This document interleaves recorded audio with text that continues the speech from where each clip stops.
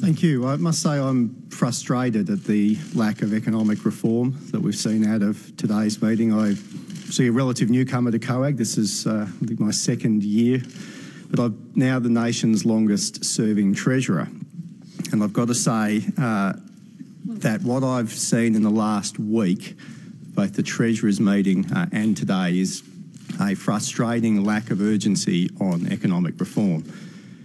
We've seen a circular debate uh, around taxation reform. Uh, we've seen no real progress made after a number of years uh, on urgent economic reform priorities for the country.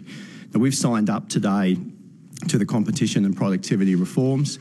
We've done so in the absence uh, of, of, any firm understanding from the Commonwealth as to uh, what resources they are going to bring to the table. We're doing so because we want to demonstrate national leadership uh, in areas of competition and productivity reform. And the ACT, under my leadership, will continue uh, to be a national leader in economic reform. On renewable energy, I would note uh, that next year, 40% of all energy in this city will be renewably sourced. In 2018, it will be 65%, and by 2020, the ACT will become the first jurisdiction in this country to be powered 100% by renewable energy.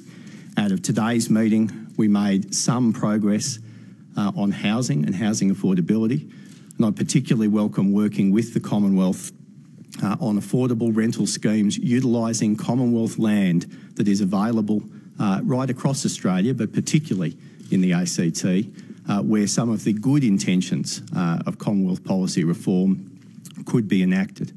And finally, as a veteran of education policy debates, uh, seven years as an education minister, I must say we need to do more uh, across all jurisdictions uh, to focus resources on early childhood education, to invest in teacher quality and to value our teachers more, and to work in partnership with the university sector uh, to continue to lift Australia's education standards.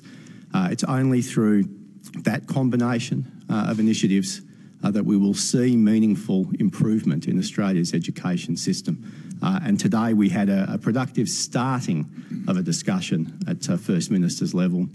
But this is something that must be a national priority uh, alongside economic reform.